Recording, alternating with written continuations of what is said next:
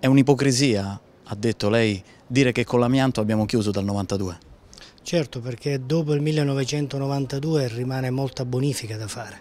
Gran parte dell'Italia è piena di amianto in eh, varie superfici, in molti territori, non solo per le applicazioni che sono state fatte nell'economia ma anche per i siti industriali che ricorrevano all'uso dell'amianto, comunque erano strutturati con materiale contenente amianto.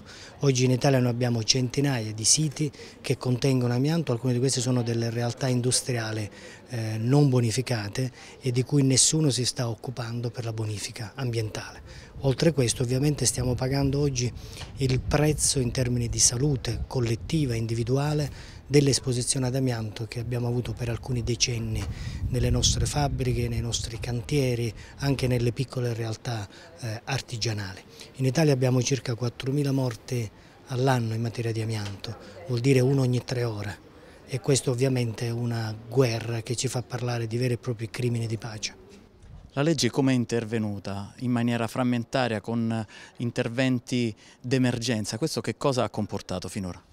Il tema è così vasto che il legislatore ha potuto eh, dettare degli interventi normativi quadro come la legge del 1992, la numero 257 o il testo unico in materia di sicurezza del lavoro, ma tanti altri interventi normativi su problemi di emergenza, su determinati siti, su determinate realtà normative e, e imprenditoriali. E quindi oggi il quadro normativo è frastagliato, è vasto, in alcuni punti anche schizofrenico ed è necessario ricondurre tutte queste norme a un unico sistema organico, cioè a un testo unico in materia di amianto.